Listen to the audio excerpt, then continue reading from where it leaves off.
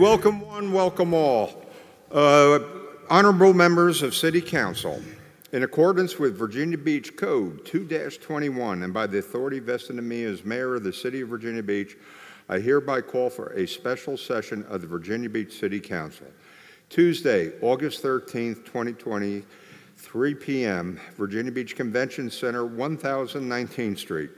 The purpose of this special section, session is to allow City Council to convene in a closed session at, from 3, 3 p.m. to 4 p.m.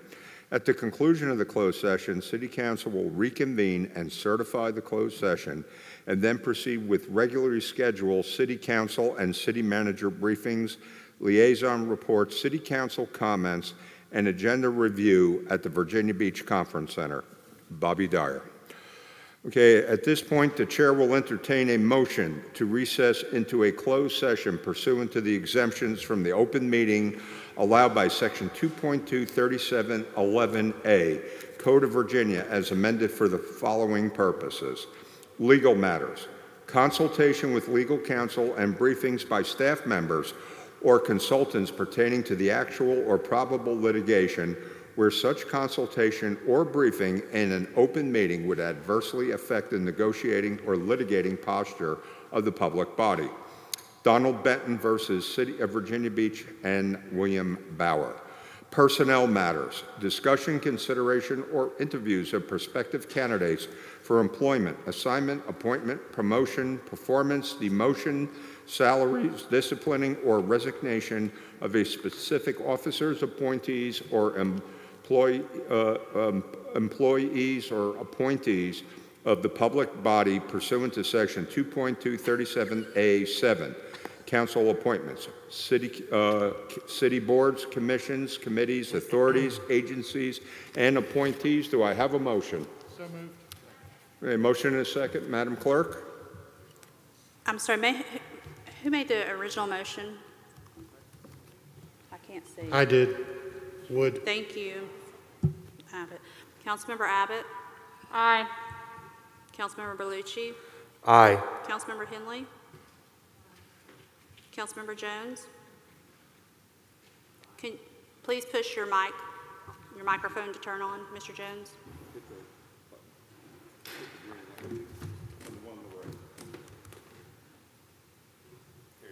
Aye. Mr. Moss? Aye. Mr. Rouse? Aye. Sorry, Councilmember Tower? Aye. Councilmember Wilson? Aye. Councilmember Wooten? Aye. Vice Mayor Wood? Aye. Mayor Dyer? Aye. Eleven to zero. Okay, at this point, we're going to recess upstairs into executive session.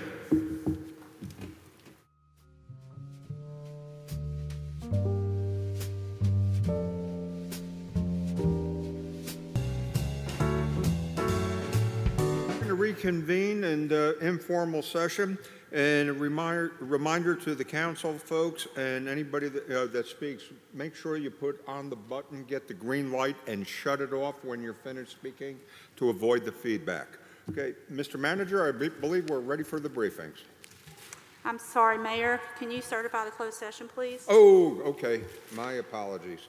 Okay, could I have a motion to certify the closed session? So moved. Second. Okay, Madam Clerk? Councilmember Abbott? Councilmember, Councilmember Abbott? Aye. Thank you.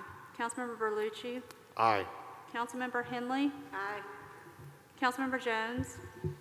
Aye. Councilmember Moss? Aye. Councilmember Rouse? Aye. Councilmember Tower? Aye. Councilmember Wilson? Aye. Councilmember Wooten? Aye. Vice Mayor Wood? Aye. Mayor Dyer? Aye. By a vote of 11 to 0, you've certified the closed session to be in accordance with the motion to recess. Okay, thank you all. Okay, now, Mr. Manager, I think we're about ready. All right, Mr. Mayor, the first item is a city council briefing that was requested by a couple council members. It's going to be the Resort Advisory Committee coming to give an update and a presentation of some recommendations for the resort area. So at this time, I think BJ Bauman is going to come up to speak and present. Welcome, BJ. Thank you, Mayor Dyer. Thank you, council. Um, if you guys wanted to turn up the intimidation factor a little more. This is a, this is a tough size to work with. I had um, prepared myself for you being in a mu- much smaller venue there. Um, We do have a presentation from RAC today, and uh, a lot of you we have already had conversations with, so you certainly are aware of uh, most of what is going to be presented.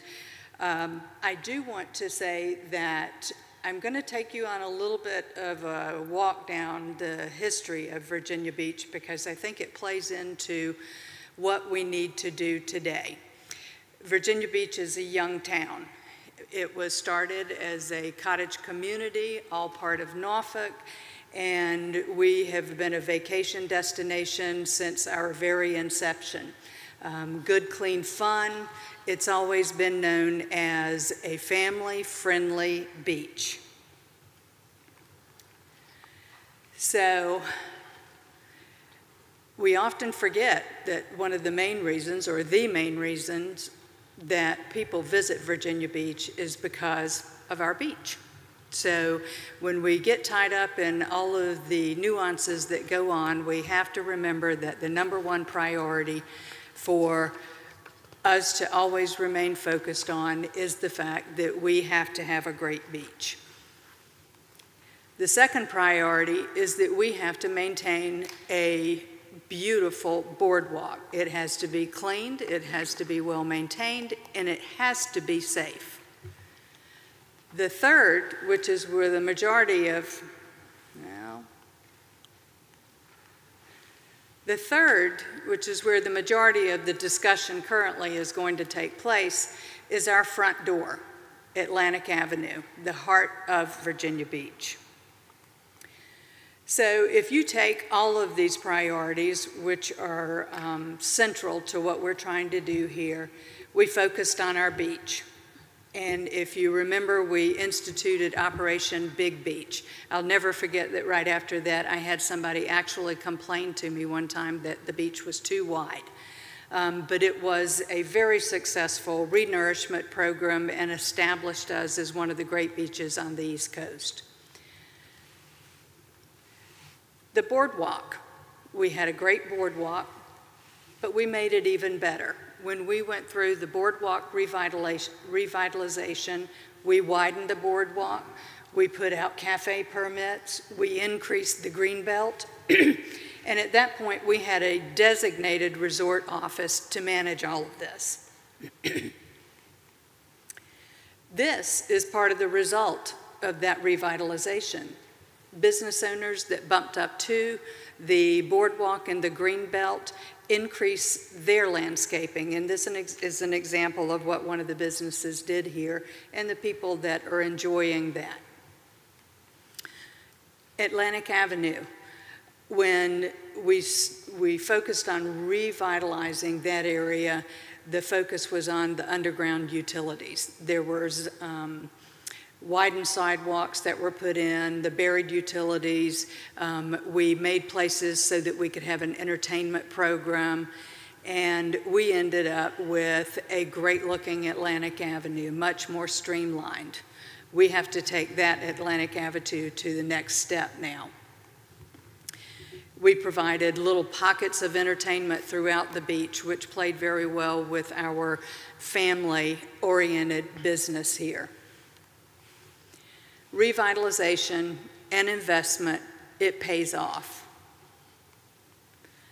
We now have an absolutely spectacular boardwalk. We have a wonderful, wonderful beach, and we need to build on that. We've even got our very own icon now with King Neptune. We've been named in the top 10 best boardwalks in America. Our parks have been filled with locals and visitors. From a number standpoint, it paid off. I'm always amazed when I look at this chart because if you look at 9 11, which was a catastrophic event in anyone's eyes, we held our own. It started growing. Then we went through the Great Recession. Again, we flatlined, but then we started growing again. Over the past few years, it hasn't been so positive. And a lot of that is due to the neglect and the condition that we see at the resort area now. We, and when I say we, I am including all of us. That's the industry, that's the public segment. Somehow, we've lost pride in our resort area. Our own residents don't have a sense of pride about their beach. We've reduced city services. Our zoning enforcement is almost non existent. We are unable to maintain pedestrian flow on the sidewalks, and I'm going to show you pictures of this. Our parks were once filled with residents and guests. Today, they're empty, and this is not just about COVID, this is over several years. Families used to enjoy Atlantic Avenue each evening for the entertainment in its myriad of fashions. Somehow, these programs became a low priority and they're underfunded, even though we have the TIP fund. Over the past years, the resort district has largely been neglected. And I know I've had the pleasure of walking Atlantic Avenue with several of you, and you've seen it firsthand with me. Reduced cleaning, constant behavioral issues, they're all detrimental to business insufficient city services. Our past resort programs office, and you're going to hear a lot about this in upcoming discussions. Um, we had at one point in time, and there are not very many of you that are old enough to remember this, but we had a resort programs office and it had a resort manager, a dedicated zoning administrator, someone from budgeting, and they were fully staffed to handle the day to day operations of what goes on at our beach. Lack of attention, deferred maintenance, business neglect, no zoning enforcement, and very little resort advocacy. I've had people accuse me of pulling pictures that only showed the worst. Well, a week and a half ago, I was right at that alley, and it looked virtually the same.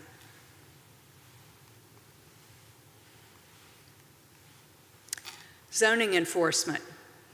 Illegal signs on each block, and we need to strengthen our sign ordinances. Merchandising is pushed out onto public property, which impedes traffic on the sidewalks. And there's profanity on the sidewalk and on merchandise. And I don't know whether you can see this well or not, but, well, and I'm not even sure that I can say it, but there is profanity on one of those individuals' bottoms that really does not have a place on Atlantic Avenue. And somehow we have to get our hands around how that can change. While we were asleep at the wheel, and again, I say we, we all have responsibility, the problems grew. But these are not new issues at the beach. Because we weren't involved, a lot of our past issues that we had dealt with have crept forward and are back in our resort area. The homeless have come back in full force, and I've always been dismayed at this, especially since we've got this absolutely phenomenal facility on Witchduck, but I also understand that it filled up pretty quickly. Um, but we have the homeless back that are making themselves uh, I guess in the homeless world, nice, comfortable pads.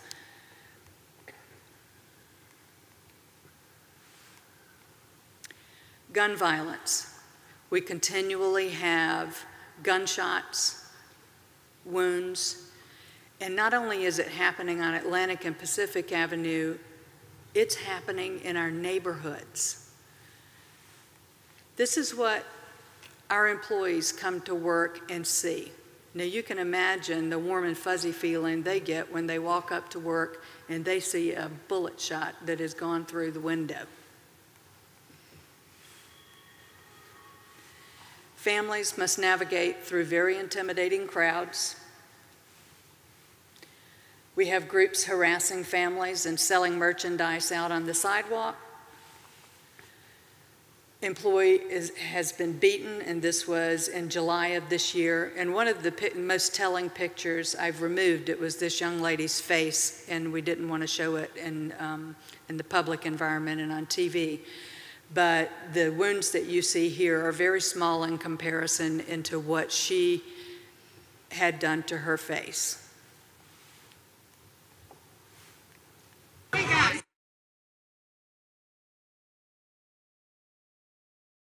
Just about to see. I know that some of you have seen it, and you're not going to need to. We're good. And Mr. Stiles, I hope you're happy with me. Um, we're going to skip over that, but that video, I just want to call attention to the fact that it is actually what our police force is subjected to every single day at the beach.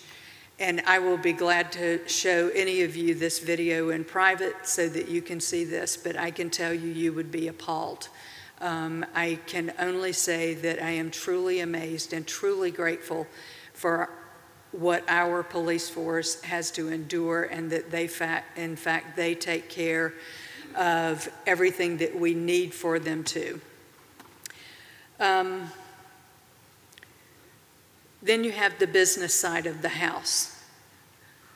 A lot of the businesses that I've talked to have been at the resort area for many, many years. A lot of them are family operations.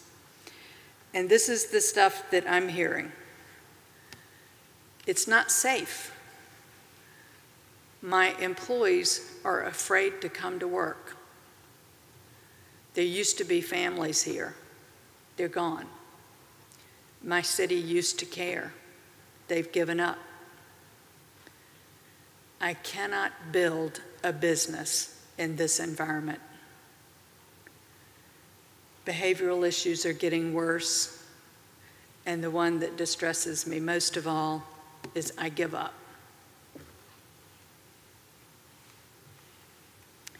In the past, finding store space on Atlantic Avenue was impossible.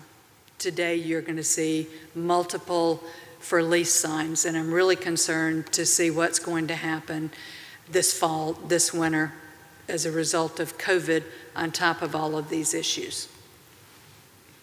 For lease, for rent, for sale.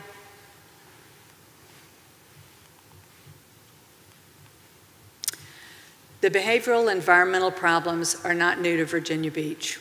We've dealt with these, we've had them before, we fixed them. We've got to do it again now. And again, I say we because it is we collectively. You as City Council, we as individual business owners and associations, are all of the benefits that the citizens of Virginia Beach have enjoyed because of the tax revenues are going to be gone. To the tune of $34 million, and that's just through July of this year, which are very depleted numbers. Whoops. Our goals, our priorities of the past must remain our priorities of today. Unequivocally, we have to have a safe and welcoming, diverse family environment. Maintain the best, the cleanest, the widest beach possible, a clean, well maintained boardwalk, a welcoming, safe, and vibrant, family friendly atmosphere. And then we've got to work on expanding our season. And we have invested in a huge amount of money in a convention center, in an aquarium, in a sports center that's all built on the foundation of a clean, safe, family friendly resort.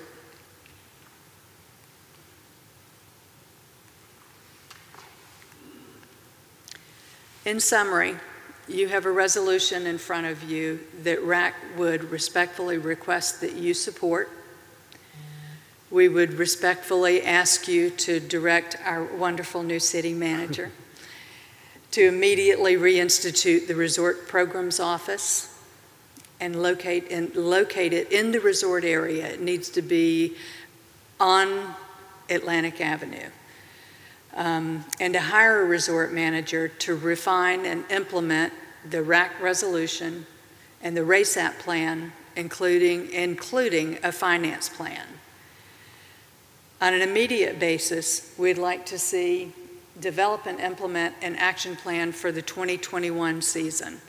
If businesses are lucky enough to make it through this fall and winter, I guarantee you they're going to need a season like any other season in the world in order to be able to bring their businesses back to life. So we need to start thinking proactively about what we can do now that's going to ensure a strong 2021 season. That includes safety and law enforcement, cleanliness and resort maintenance, restoring and adequately funding a family-friendly entertainment program.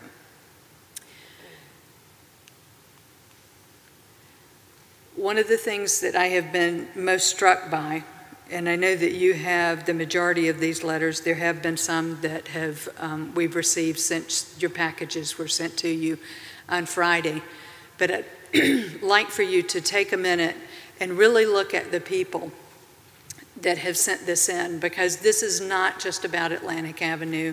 This is not just about the businesses. More importantly, it's about our neighborhoods.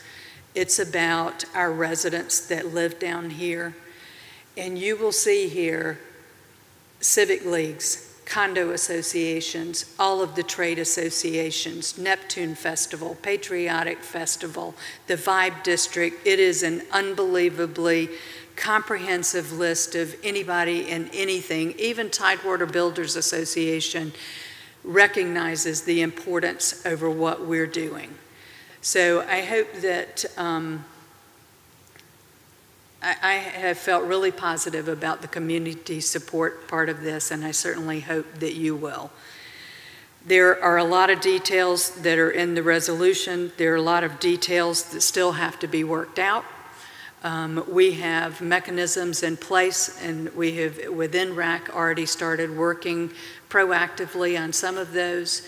Um, but I really appreciate you your hearing our plight at this point, and we'll be glad to answer any questions. Okay, any questions for BJ? And don't forget to put your green light on. Anybody? God. Mr. Tower. I, I would just like to thank uh, Ms. Baumann and all of the members of RAC and all of the other organizations that uh, members of RAC have, have put together for this effort. I, um, I've lived in Virginia Beach for 40 years, but I have been coming to Virginia Beach, I hate to say it, for 70 years. and I have seen uh, high points and low points at the beach, as you would in any community, even resort communities go through periodic uh, times where you can't keep everything uh, the way you want it all the time. And, it, and keeping it on a steady pace is a problem because you're always one step behind unless you're moving ahead. And we have done a great job of moving ahead in many respects. But right now, what we need is major change, and I think we need a lot of people involved in it, including the resort area, including people from the remainder of the community. And I'll just take this opportunity to let council know that I intend to ask city attorney to draft appropriate resolutions and ordinances that would uh, implement these suggestions that the Resort Advisory Commission has made.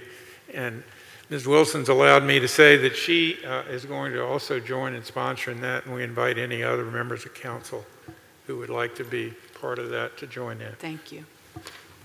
Mr. Mayor. Anybody else? Ms. Henley? Thank you. Looking at those pictures from the past and remembering what it was like down there in the 80s before we did the Atlantic Avenue beautification and the sign ordinance and all of those things. Thinking back, I just remember how difficult it was to determine what the folks down there really supported. Kind of seemed that if the hotel folks wanted this, the restaurant folks wanted something else, or Atlantic Avenue wanted one way, Pacific, and it was always a little difficult to, to work things out. But when you see all of these people saying the same thing now, it should get everybody's attention. Yes, ma'am. I, I think this is one of the most impressive things I've seen over all these years from the ocean front. And you're right. If it's not safe, and if it's not clean, and if it's not welcoming and wholesome, we can build hotels all we want, but it's not going to solve anything. Uh, we've really got to work together, and you're right, we've got to start right now. And uh, I, I really appreciate the work that, that you all did to bring this resolution to us. Uh, it's powerful. Thank you. Thank you. Mr. Moss? Thank you, Mr. Mayor. I've, I've been talking, as Guy well knows, with Mr. Tower about, based on my own visits, and thank you for coming down here and bringing an issue. Uh, I would expand that stakeholders to all the communities in the heartland of the city as well. Yes, I sir. mean, everybody has a You're right. vested interest. I was very pleased to, to you acknowledge and called out some of the private businesses, people who aren't doing their part. Thought that was great. And there is a need for investment. I think a lot of the stuff that we see here is not COVID related, but it's underlying structural issues that have to be addressed, and I think you would agree. Yes, and I don't think we can be too aggressive. I think there's two priorities in our community. One is flood mitigation, which we need at the ocean front too, I might add, and uh, making sure that the ocean front maintains a vital business. And uh, hopefully, this extra supplement of COVID funding that we received might be able to help us uh, help the businesses along and, and make it to next spring. But thank you for coming down. Thank you, Mr. Tower, for all your advice you've given me over the last couple of weeks. I do appreciate it, and I will be co-sponsoring your stuff as well. Thank you. Thank you. Mr. Wood? And I, I agree with what's been said. I, I guess the only question I have, Guy, is just procedural. You said, so is this resolution that they provided not the one that you want to go forward with? Um, In in talking with the city attorney, he he said that if, if uh, we could get, take the RAC resolution, they think they can draft, uh, draft it into implementation resolutions. Obviously, we'll have to take a look at those. Yeah, because this one's signed by Rod as um, approved as a legal sufficiency. But that's for RAC, RAC's adoption. R- RAC is a city-appointed board, and it is in, I don't believe that's for city Okay. adoption. Am I correct with that, BJ? I mean, we could adopt it as far as I'm concerned, but I'm, I defer to the city attorney. We, we drafted that to assist RAC, but we would draft one specifically for this body. It would be tailored closely after that, but it would be for this body to adopt. Okay. Well, But there wouldn't be any changes or deletions or, We would, we would put that, it- what the content of that, as I understand the, the request from Mr. Tower, is to put the content of the RAC resolution into a resolution for the city the, council to the seven adopt. items on there, that is, that's, that's the meat of it, yeah. Gotcha. Okay. That, that's good. Thank you. okay. Ms. Wilson? Thank you, BJ, for coming forward with this, and also at the RAC meeting, uh, she had a big ovation from the RAC for, for such a job well done. Um, My very first meeting with, as you called him, our wonderful Mr.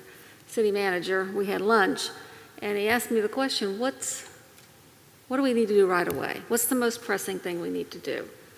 And my answer to him was, we've got to do something about the ocean front. The season is halfway gone, you know, gone. We've got to really get started and, and do a lot of the things to make it a safer, more inviting community and place to be. And so, uh, you know, we were on it, but you put everything together to say, here is a game plan. Right. This is the game plan and of what we can do, and it's, it's, it's a good game plan. And I'm hopeful that, I mean, I know that there's some, a larger big ticket item, but some of the stuff we can start on right away. You Yes, know, the- ma'am. The enforcement of, there shouldn't be vendors out on the sidewalk. You know, um, we need to find a place for our homeless to sleep. not on the sidewalk. Um, We can do cleaning of the, because when I walked with you, it was just, the sidewalks were filthy. Was that a place you'd want to be? No. Right. And we just, we used to do it more often, but let's go ahead and up the game on the, on the cleaning. And so identify the things that we can do right away. Right. And let's get started. The time is now. Um, I think we've got a, a good game plan, and I really believe you've got the citizens and a lot of the associations and everyone behind you. And boy, if we all get together and roll up our sleeves, we can do anything we want. So thank you for doing this, and uh, it's just a real pleasure having you here today.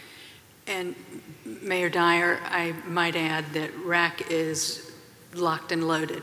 We're ready to run on this. Um, A lot of the things are low-hanging fruit, and um, we'll be glad to work with any of the city staff that you direct towards us um, and in accomplishing this. And we do have much bigger projects that this is going to lead to, but we need to do those items like the mobility study so that we are laying the appropriate foundation for how we're proceeding ahead.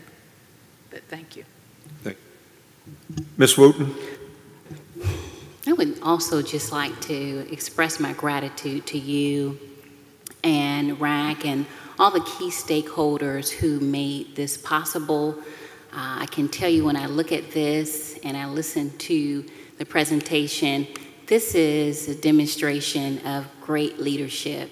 And so um, I certainly would like to be a co-sponsor on this resolution.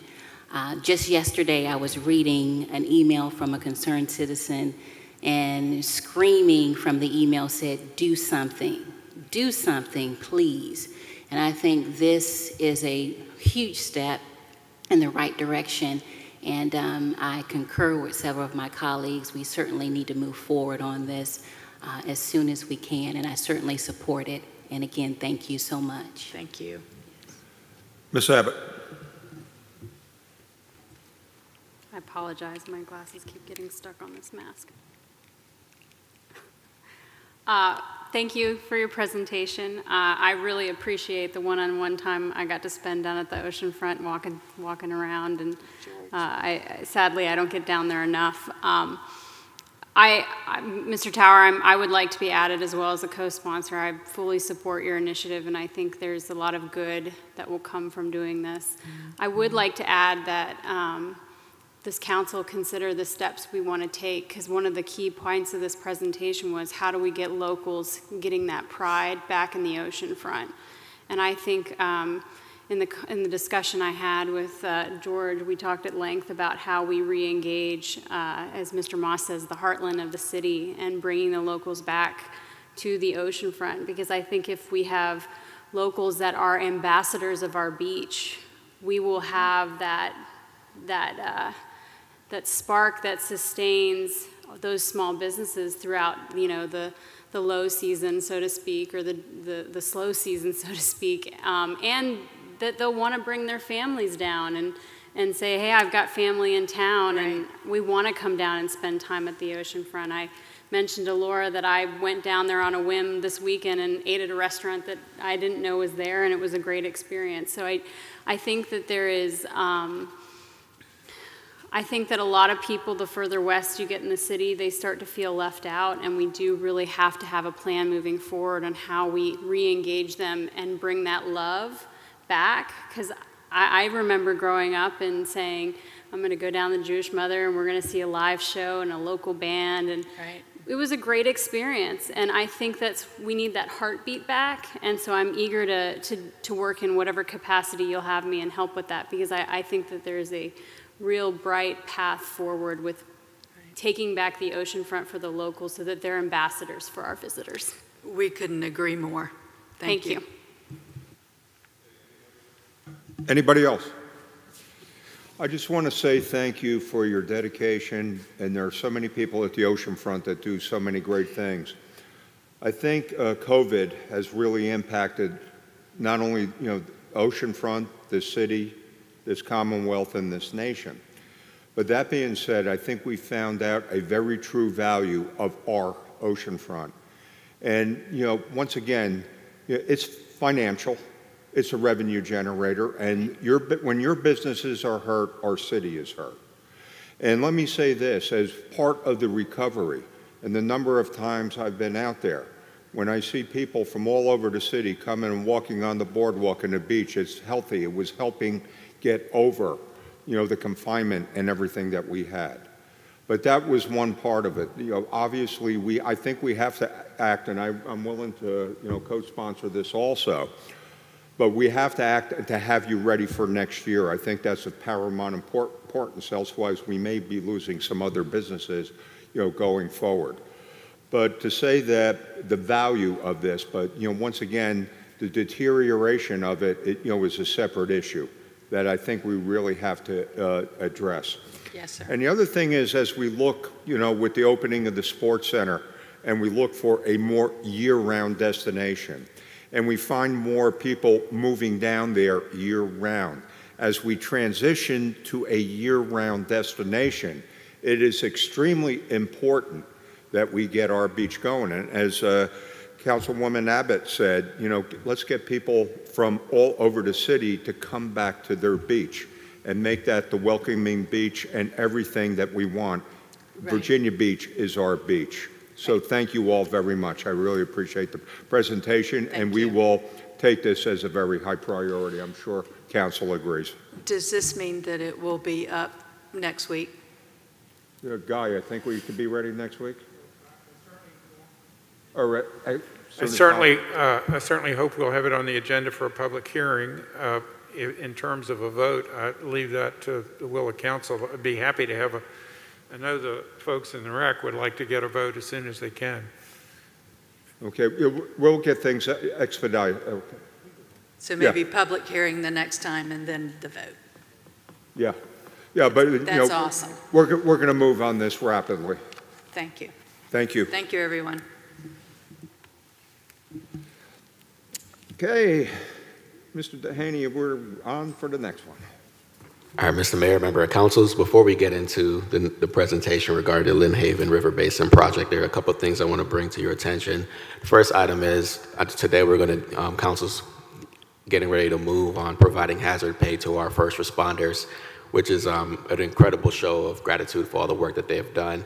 We've talked also about possibly preparing some kind of proposal that we can do for the rest of the workforce for your attention, and also include this in the Friday package is just a draft recommendation, a proposal of what we can possibly do in terms of offering our our non-first responder employees who don't qualify for the CARES Act money a possible um, expression of our gratitude for the work that they provided. You know, it's um, it's nothing that'll be taken up today. You know, something that we hope to introduce probably around the first part of September. So we just wanted to give you a heads up of what that is because I know a lot of you all, like myself, are getting a lot of questions and concerns from our employees who aren't covered under CARES Act about is something going to be done for them. So we just wanted to give you with something that you can use as some talking points. Um, first, the next item I want to talk about is the Westminster Canterbury project. Um, we received a letter from the applicant asking to be taken off the agenda for August 25th and to possibly being considered for a September 22nd special council session to discuss that project. And it's council's discretion if that is to happen and occur. So I provide a letter in the Friday package, and I just want to get some feedback from council as it, to, as it relates to where they are on possibly granting the applicant an ability to move to September 22nd.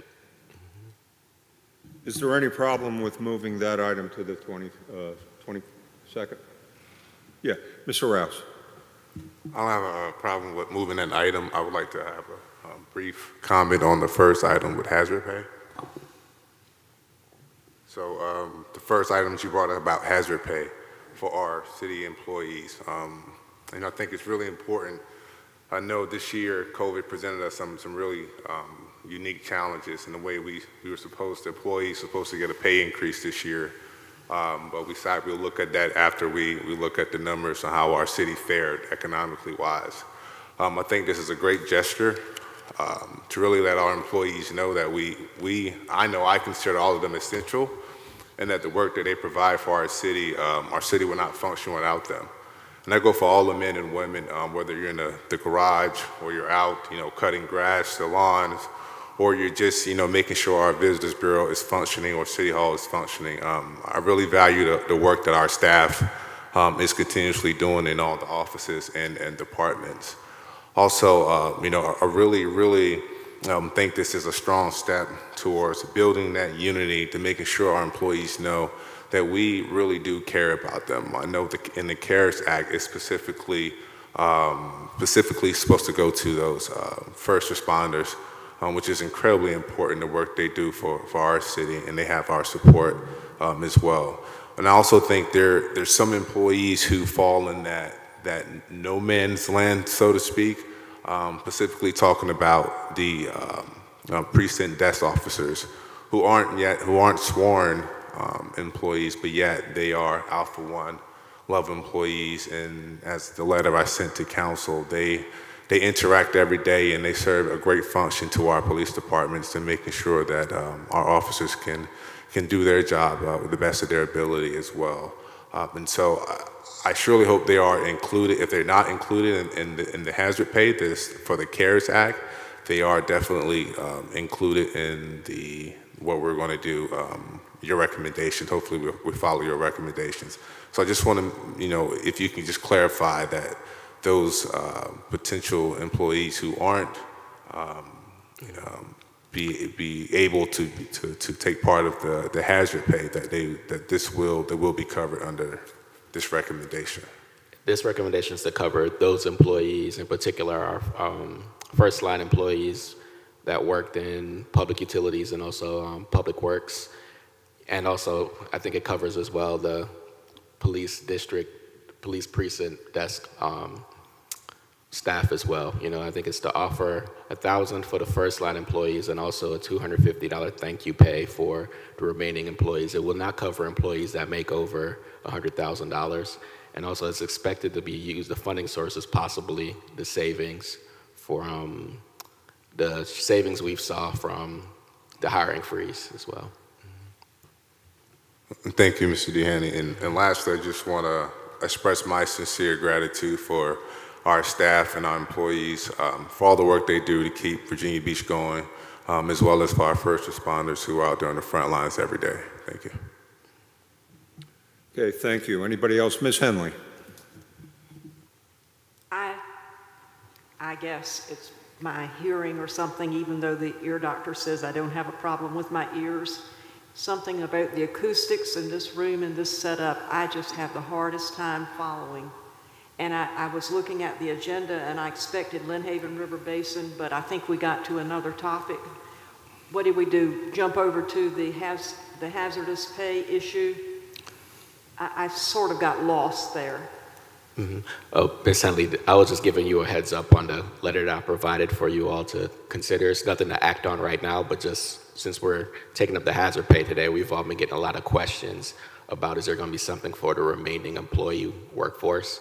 So I just provided you a letter about a possible proposal that we're going to try to get on the agenda in September so you can have a talking point as it relates to is there going to be something possible for other employees. Okay. All right. Yeah, it was, it was, Ms. Henley, it was just a point of discussion for clarification for, you know, further action. I just want to respond to your specific request about the, the special session and agenda for Westminster Canterbury, which I have no objection to. I would only hope that we could look at if we are still behind, that other stuff that would get us up to speed so that we could return to regular order of business in October would be great and reestablish our battle rhythm. So if we're going to have a out-of-cycle meeting with Westminster, I understand that'd be a big crowd, but still, I'd like to, if we can, if mayor, I defer to you and the vice mayor to look at what other else we could possibly get on the agenda so that if we could, we could return to normal order of business in October would be great. You know, I concur, Mr. Moss. I think we all want to get back to the normal order. Uh, we did have to, we were almost compelled to have a couple special sessions along the way. Uh, hopefully they were well articulated, but I think uh, movement of the Westminster Canterbury, you know, given the significance of it and the magnitude of it, uh, you know, deserves, you know, it, you know, yeah, I think the move, does anybody object to the move, uh, you know, to the next date? Okay, thank you. Okay. Yeah, yeah, Mr. Stiles.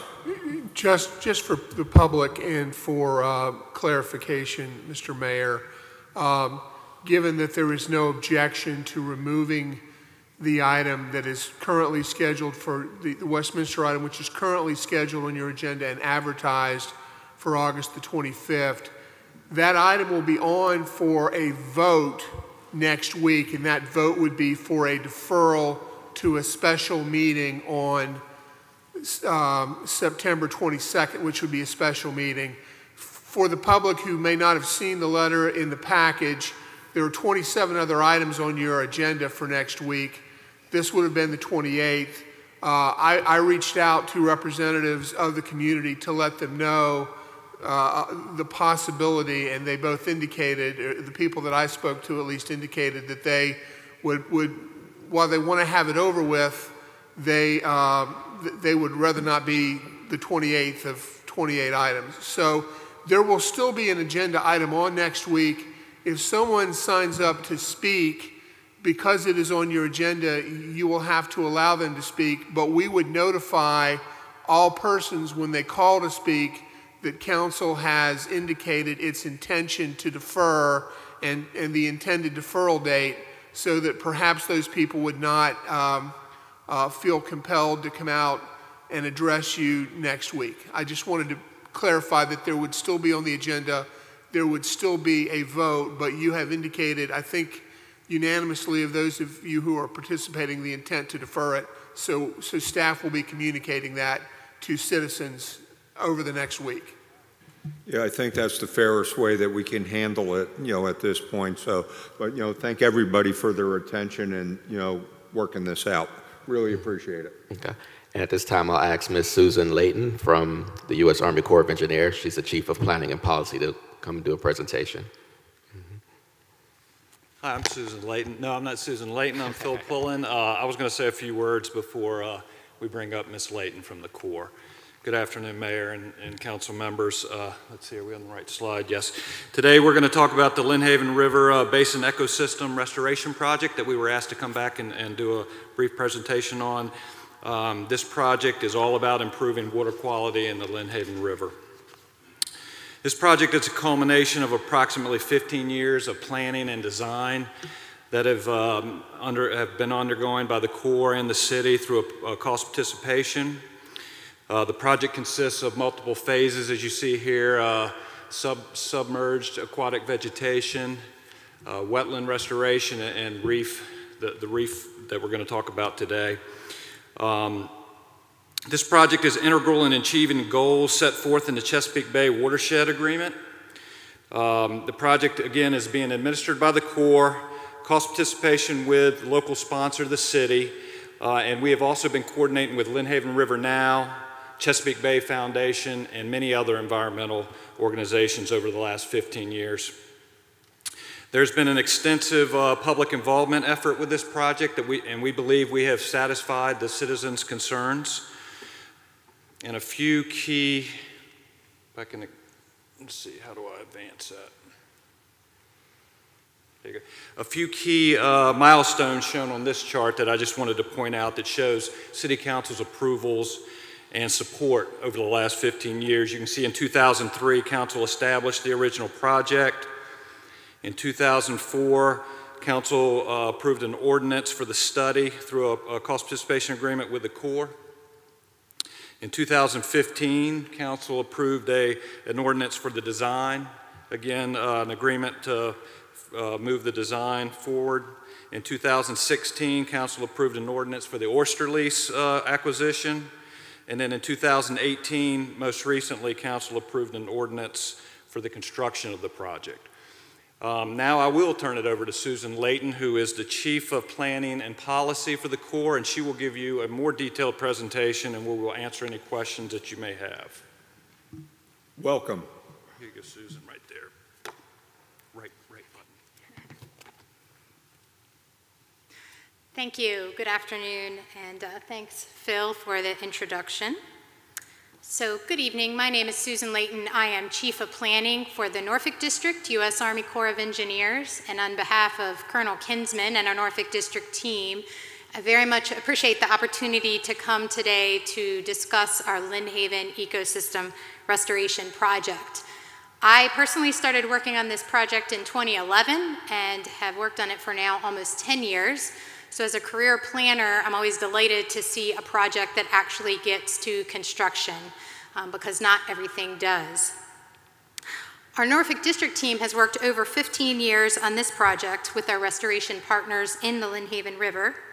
And we were excited when Congress chose this project as the only ecosystem restoration project nationwide to be funded in fiscal year 18. We're also very thankful to have an engaged and supportive partner in the city of Virginia Beach, as well as the rest of our restoration partners in the Lynnhaven. So just a few notes. I know you all are very familiar on why it's important to restore the Lynnhaven River. Um, but just a, a, a, few notes to emphasize some of the reasons why the federal government also thinks it's an important investment. So this is a priority tributary for oyster restoration for the Chesapeake Bay program. Some of the most important recreational areas in Virginia are in the Haven and is the largest tidal estuary in Virginia. It is home to nursery, foraging grounds, nesting areas, and migratory habitat, and we're also very lucky to have a very engaged restoration community in this area. So the total project cost is approximately 39 million, and approximately 10 million is allocated for the first phase of the project, which it does include hard reef habitat, SAV, and wetland restoration. So we are appreciative of all of our project partners shown up here, including not just the City of Virginia Beach, but the Virginia Beach Public Schools, and I'll in a moment tell you why they're an important part of the project as well, as well as NOAA, VIMS, Lynnhaven River Now, um, who we have a, a, very happy to have Ms. Karen Forget here um, as well today, um, supportive of the project, the Chesapeake Bay Foundation, and the Virginia Marine Resource Commission.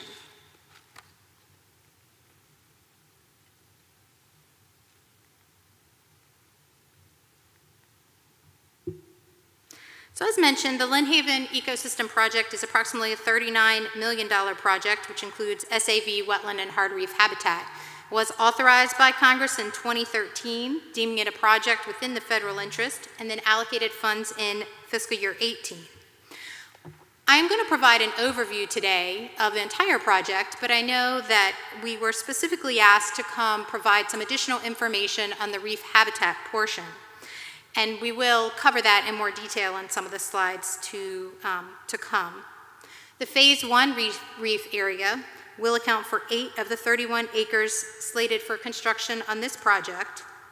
And these 31 acres of reef habitat will account for, um, is a large component of the 45 acres needed to call the Lynnhaven tributary a restored uh, oyster tributary. This slide does show all phases of the Lynnhaven. So the project sites shown up here are not just the phase one sites, but all of the sites that are included within the project. So I know Phil gave uh, some of the project background, and that was a little bit more from the local perspective. We did also want to provide an overview from the, of the federal engagement of the project starting um, almost 15 years ago in 2005 when project planning efforts began. I'm not going to go through all of these, but I did want to highlight a few things. Um, this was approximately a $3 million study. Uh, we received the appropriations in 2018. Since then, we have had several public meetings in 2018 and 2019 to provide understanding, answer questions, and respond to comments that have been provided by members of the public. And I will note there is a one small mistake in the slide. It says under 2018 that in August we held a meeting at the Virginia Beach Municipal Center. We actually held one in August of 2019, so just a slight correction there. Throughout this timeline, in addition to this project being ongoing, there have been multiple reefs, similar restoration type reefs, constructed by the Corps and others in the Lynnhaven. So our current recommendation is consistent with these ongoing restoration efforts, which have already resulted in a cleaner, Lynnhaven with robust recreation and commercial opportunities.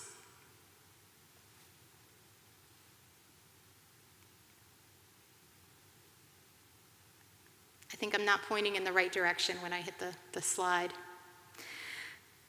So the Lynnhaven Phase 1 project is shown here and does include wetlands and submerged aquatic vegetation, including, and in addition to the reef habitat that we were asked to come and discuss.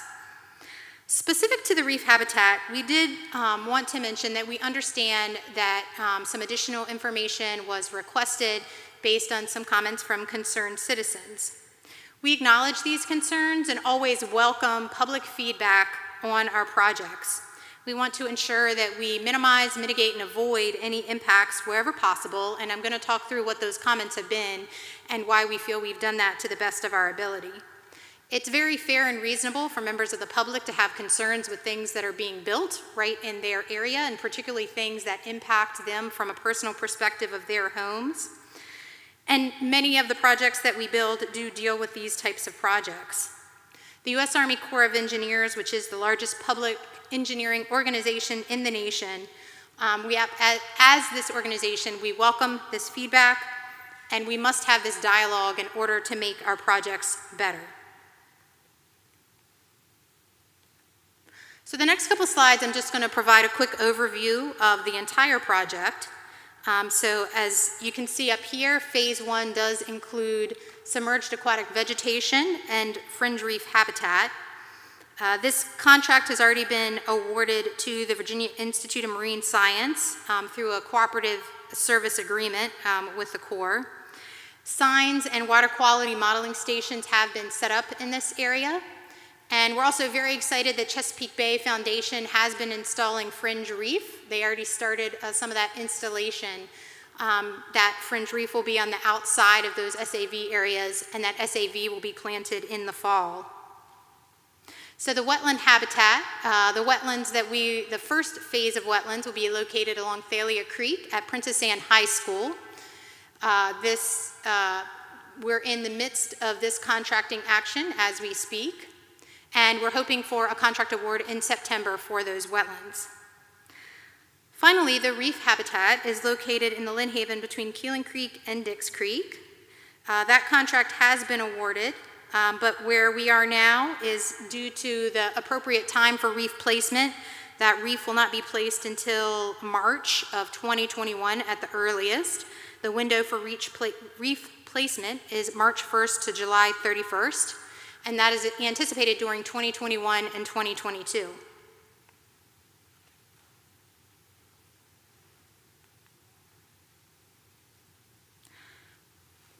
So a little bit more detail about the submerged aquatic vegetation and fringe reef habitat. The SAV will include eelgrass and widgeon grass. This is planted in historic areas via seed collection and then hand broadcast. The first phase is anticipated 6.3 acres of SAV with fringe reef near Long Creek, adjacent to First Landing State Park. And VIMS is currently in the process of completing the tasks that are listed up on the slide.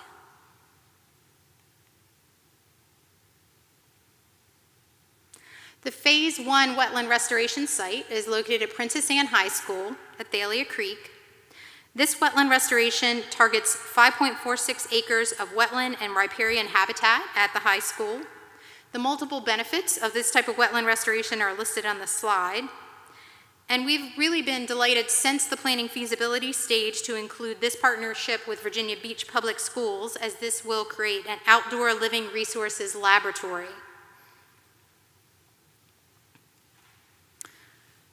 So part of the wetland restoration is eradication of Phragmites in the area.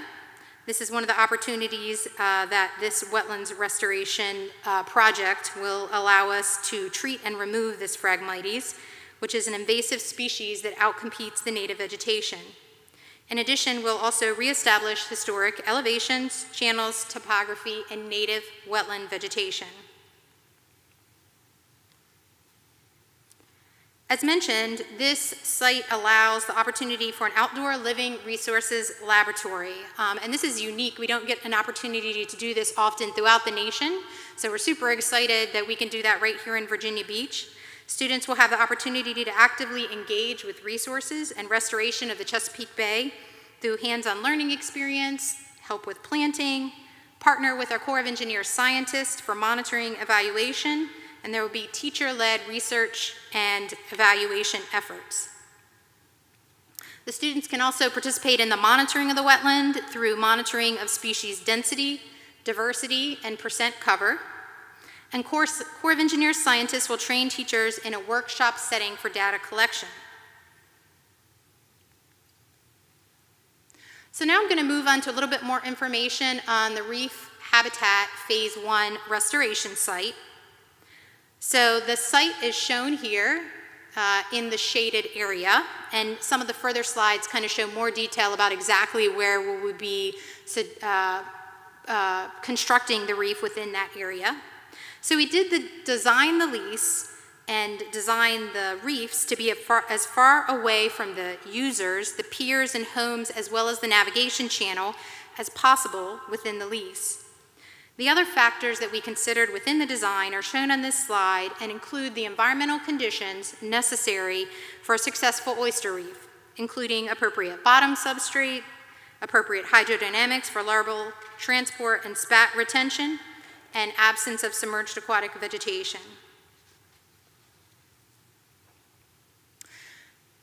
This slide shows the existing reefs in the Lynnhaven River. As you can see, there are multiple existing reefs in the Lynnhaven. What we're proposing is consistent with existing visual, recreational, and commercial landscape in this tributary. We've worked very closely with the, with the restoration partners to construct reefs in the past and develop a master plan for restoration of this tributary. As agreed to in the 2014 Chesapeake Bay Agreement by the Commonwealth, the other Chesapeake Bay states, the EPA, and the Army Corps of Engineers, restoration is an identified and agreed upon goal for a healthier Chesapeake Bay.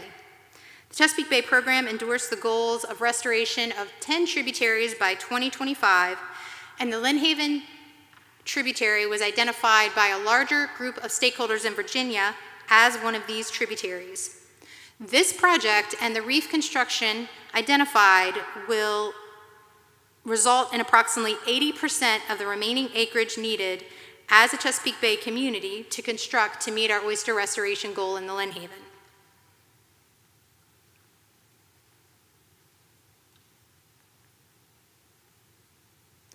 So some of the items that are of concern that have been identified um, as part of this reef construction and that we have worked to make sure that we are minimizing impacts include navigation needs, public safety needs, and aesthetics.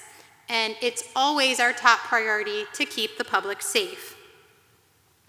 So we have taken landowner feedback into consideration and designed to minimize impacts to recreation.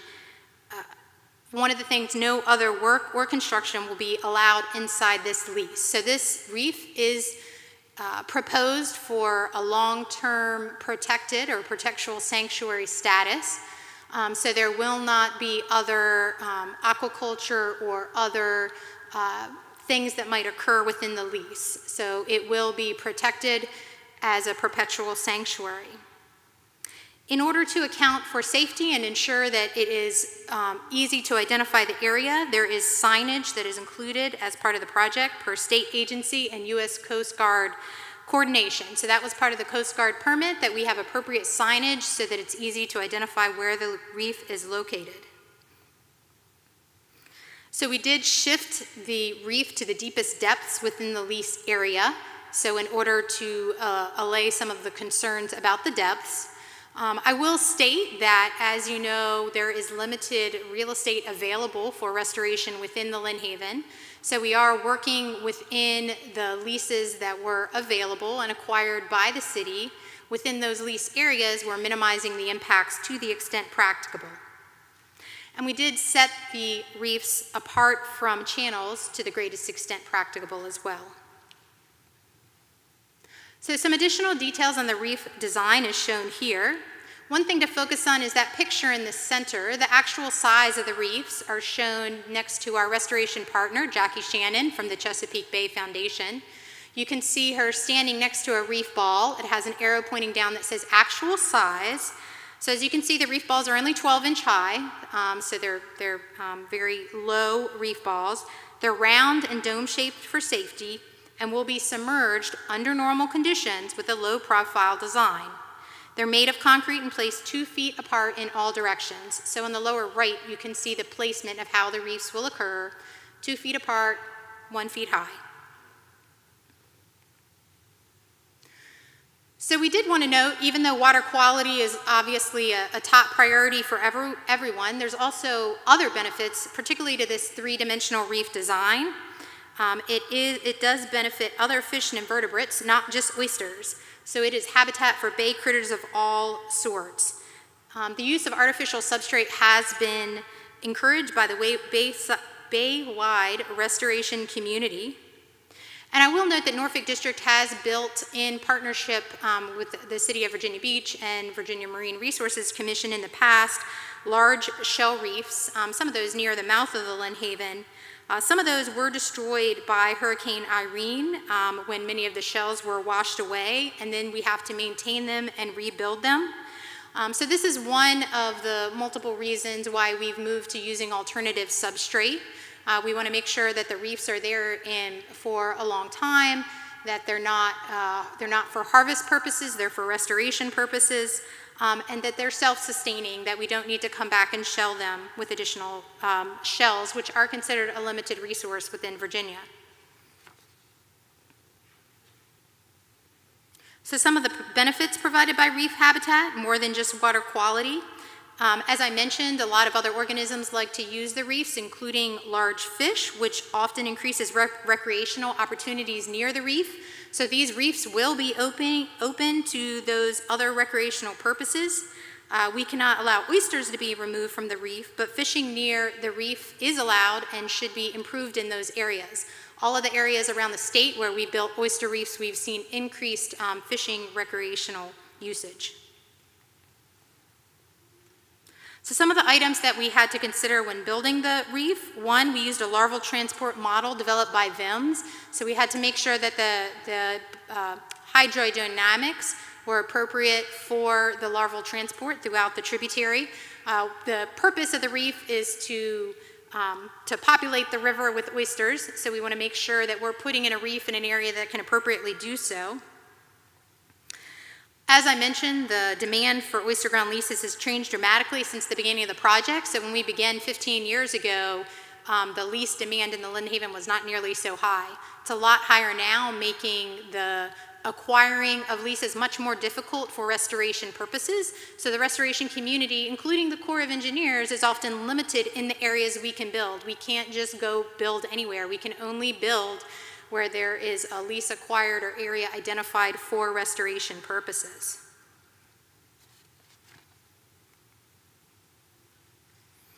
So we've, we've noted the public involvement throughout the project. Um, this is a history of the public involvement here. Uh, we did, back in the planning stage, hold several public meetings, including a meeting on the environmental assessment held in 2012, which did include the specific recommendations for the project. In addition, there were several recent public meetings to provide information and respond to concerns on the reef proposals. We mailed certified letters to residents near the project to do to the best of our ability to ensure that anyone that wanted information or had questions knew how to obtain that information and come discuss the project with the project team members. We also recently did meet with a small group of local citizens just a few weeks ago to ensure shared understanding of the most recent concerns. We understand that we cannot always resolve all concerns, but we want to at least try to have a shared understanding to make sure that um, the citizens are being heard and that we are providing the information on the project. So just a little bit more on the collaboration and outreach and involvement. We did go through a full permit coordination with the Virginia Marine Resources Commission, which included a, uh, a joint uh, a joint permit application where a hearing was held for the permit. Um, there were some concerns or protests on the permit, and there was an opportunity, we gave a presentation, an opportunity for any members of the public to have concerns, that had concerns to come voice their concerns. Virginia Marine Resources Commission heard that and still did approve uh, the permit. I will state, um, since it's something that's been brought to our attention by multiple members of the public, and it, and it might have come up in your um, conversations uh, with some of the concerned citizens, is there has been a question of incorrect depths in our permit application or a, a um, statement has been made that that's the case. Um, those, uh, from the beginning, that was not incorrect depths. It was a datum conversion that had to be made. We originally submitted our permit with NAVD 88, which is a common Corps of Engineers datum used uh, in, in our design drawings. That it was not something that was easily readable on these drawings. We concurred with that. We converted those to mean high water and mean lower low water. Um, so moving forward, obviously those were corrected so everyone knew the appropriate depths, all the agencies that we coordinated with, and members of the public. So just wanted to make sure, because I know that's come up in multiple conversations, and that was a, a datum conversion that was identified and corrected.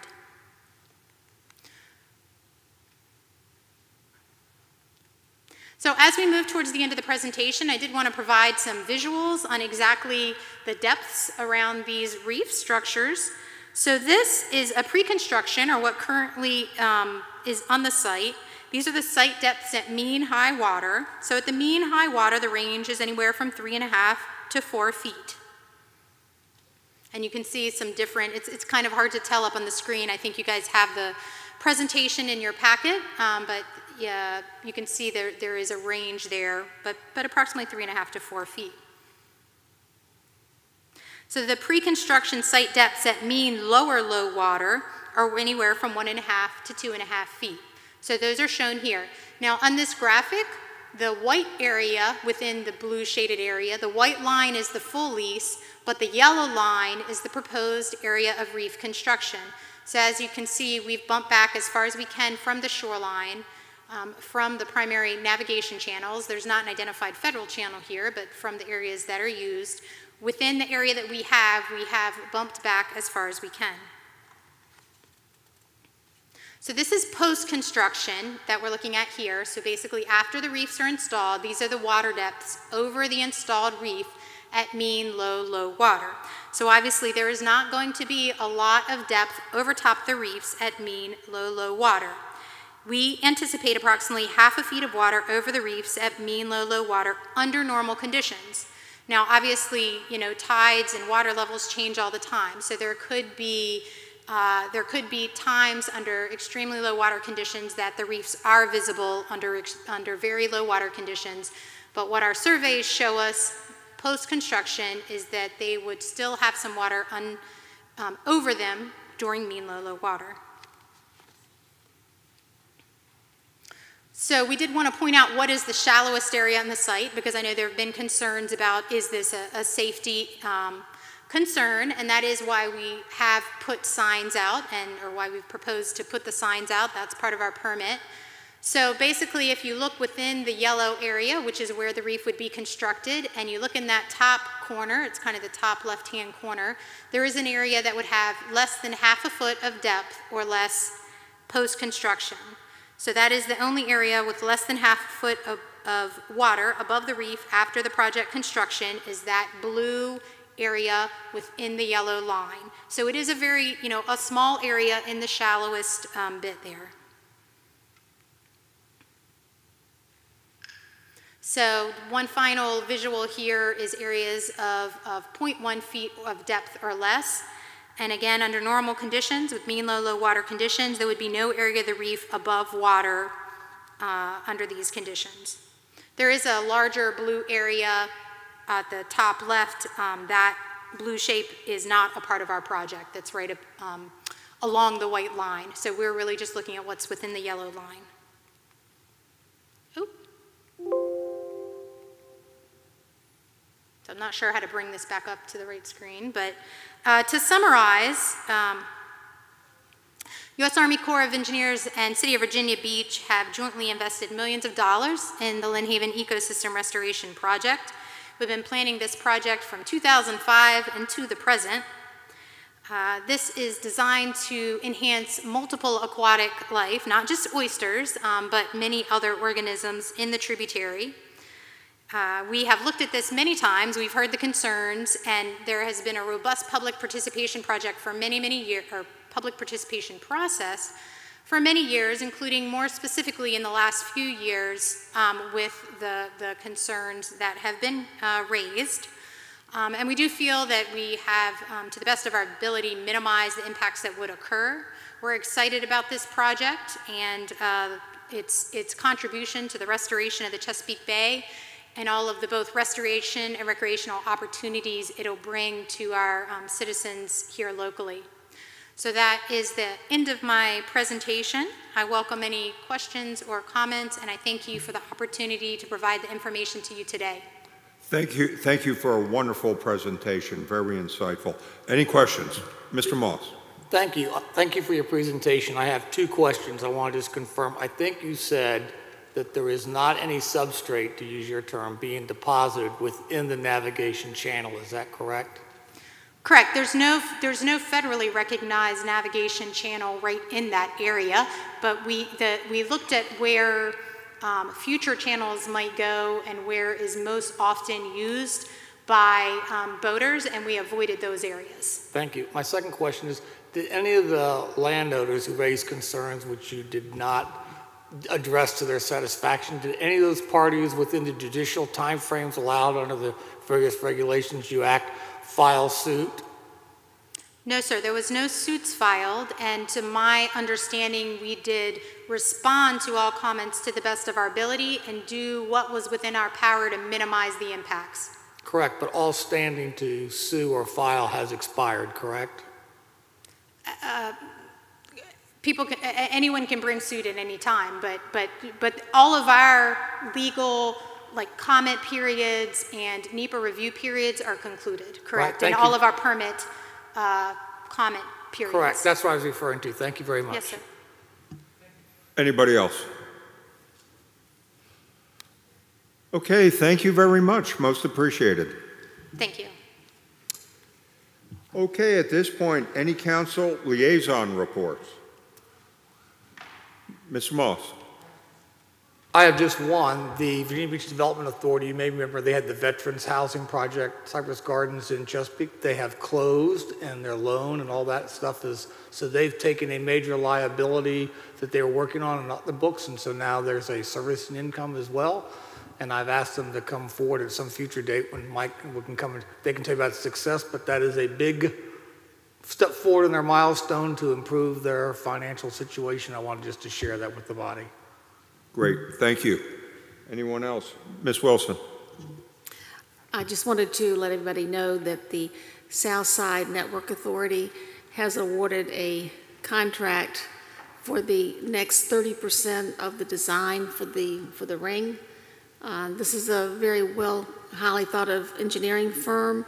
Um, So they'll be 60% done and they'll have a much, much better handle on, on the cost of what that ring is going to be. Uh, The other really uh, good thing about this particular firm, the authority is going to really need a, an engineer to be on board. So when the ring is built, uh, whoever the contract will be to get that, um, they're going to have this particular company to be that engineering firm because the network doesn't have that expertise. Uh, They have hired a- an executive director. His name is Steve Dewberry. Uh, He had worked with uh, Norfolk, and he came uh, highly qualified and recommended by someone we all, most of us know, we all remember Catherine Weitzel. So anyway, just wanted to give an advance notice of what's going on. Thank you. Anyone else for liaison? Council comments? Mr. Moss? This is, a, I know we were hoping that we would have had a bond referendum in November with regards to flooding, but COVID and the uncertainty that all created, that kind of rightfully so shifted to the right. But I hope it hasn't shifted past November of 2021 so far to the right. I think just the recent duration and frequency of rain events have reiterated just how vulnerable our community is to just rainfall events.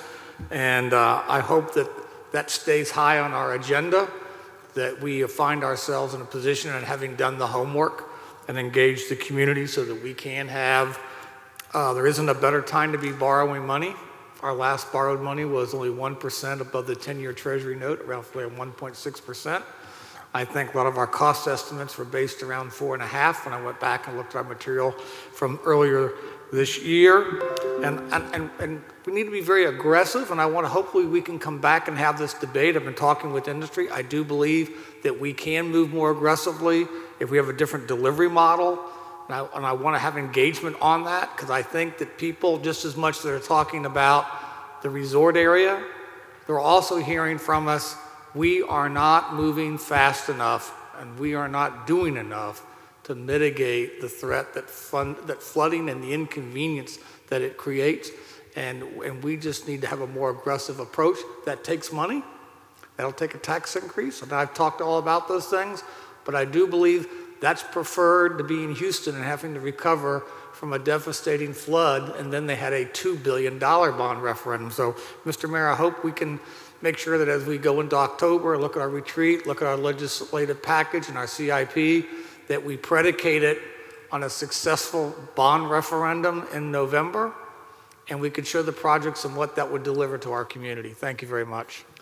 Uh, Thank you, I appreciate that, and uh, be assured, in spite of our challenges, it still remains a high priority, and uh, economic development is also actively trying to bring in new business and new revenue streams. So, you know, I think it's got to be, uh, you know, multifaceted approach, but I certainly thank you for bringing it up.